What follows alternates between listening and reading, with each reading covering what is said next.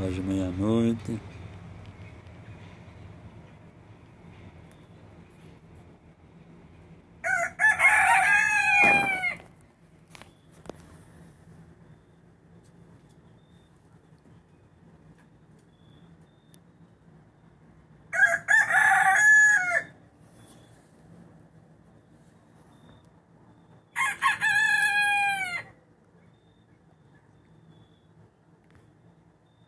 Uhum.